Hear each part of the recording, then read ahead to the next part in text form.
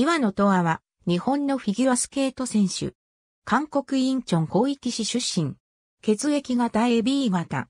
日本人の母と韓国人の父を両親に持つ。母親の仕事の関係で7歳まで韓国で生まれ育った。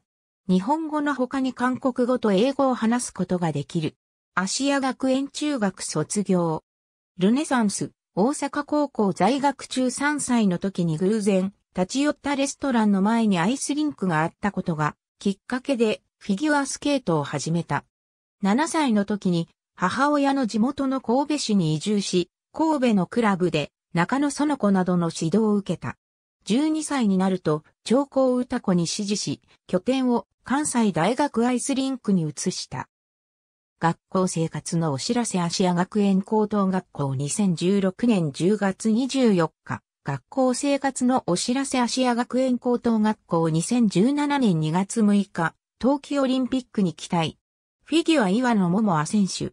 ルネサンス高等学校2019年5月16日。 Face of the Future。岩野 setting big goals Japan Times 2016年12月20日。フィギュアスケート岩野とは、夢の舞台、2022年北京、冬季オリンピック表彰台へ。 Act Now 2019年5月11日。ありがとうございます。